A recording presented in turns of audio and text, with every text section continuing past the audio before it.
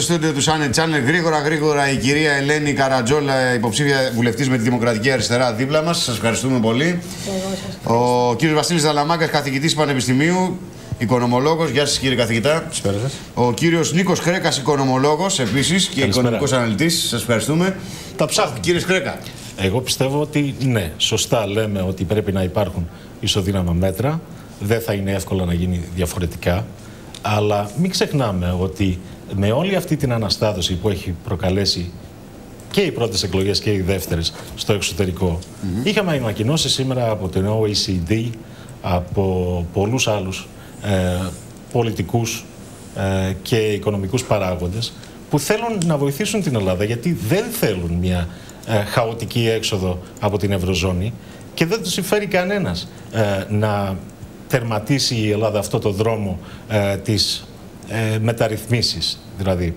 Και πιστεύω ότι το έχει καταλάβει και ο ελληνικός κόσμος σε μεγάλο βαθμό. Ναι, μεν, ε, δεν ψηφίσανε πολύ για το μνημόνιο, γιατί πιστεύουν ότι είναι μόνο λιτότητα, αλλά είναι και πολλά άλλα κομμάτια του μνημονίου. Δηλαδή, αν ρωτήσουμε τον κόσμο ε, τι λένε για αποκρατικοποιήσει ή έστω κάποιες μικρές αποκρατικοποιήσει, δεν θα είναι πάντα αρνητικές. Και ο κόσμος νομίζω έχει καταλάβει ότι αυτή τη στιγμή η ελληνική οικονομία έχει ε, χρήματα και ρευστό για 4-5 εβδομάδες το πολύ. Δηλαδή τα πράγματα είναι δύσκολα. Κύριε Σκρέκα, ποιο είναι το ιδανικό σενάριο για εσάς, συγκεκριμένα και λεπτομερέστατα, σε επίπεδο συγκρότησης κυβέρνησης και κινήσεων την επόμενη μέρα.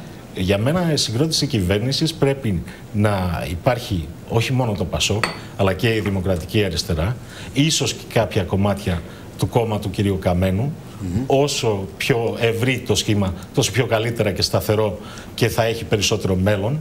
Και το πιο σημαντικό για μένα είναι ότι στο τρίτο τρίμηνο του χρόνου, τους επόμενους τρεις μήνες, εμείς πρέπει να πάρουμε τα 30 δις που αναλογούν στη χώρα μας από αυτό το πρόγραμμα της Τρόικας.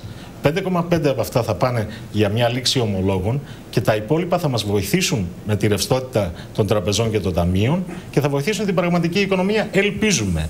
Και βέβαια μην ξεχνάμε ότι αυτή την Πέμπτη έχουμε ένα Eurogroup. Πρέπει να έχουμε ένα Υπουργό Οικονομικών που μπορεί να πάει. Ακριβώς την άλλη Πέμπτη, όχι αυτή την παραπάνω Πέμπτη. Δεν μπορούμε να κινηθούμε έτσι στον αέρα. Και δεν πιστεύω ότι κανένα πολιτικό κόμμα θέλει να πάρει το ρίσκο το να ξαναπάμε σε εκλογές. εδώ θα ακούσουμε και διάφορες αιτιάσεις. Το Βέλγιο έχει 570 μέρες χωρίς κυβέρνηση. Μα το Βέλγιο δεν έχει ένα δημόσιο όπως έχουμε εμείς. Μην ψάχνετε, δεν είναι η ίδια περίπτωση. Να πάμε στον κύριο, κύριος Κρέκας. Μία κουβέντα Εγώ θέλω να υπογραμμίσω κάτι που ίσως οι δικοί μας πολιτικοί αρχηγοί δεν έχουν καταλάβει. Ή μάλλον όλοι, όλοι δεν έχουν καταλάβει. Κάποιοι μπορεί. Ο κύριος Μόντι, σήμερα ο Πρωθυπουργός της Ιταλίας, είπε ότι η Ιταλία είναι στο όριο. Ναι. Η Ισπανία εκπέμπει SOS ότι θέλει ρευστότητα. Ναι. Η Κύπρο θα χρειαστεί 6 δις. Εμείς, αν δεν πάμε ενωμένοι και σοβαροί στο εξωτερικό, θα έχουμε ακόμα χειρότερα προβλήματα.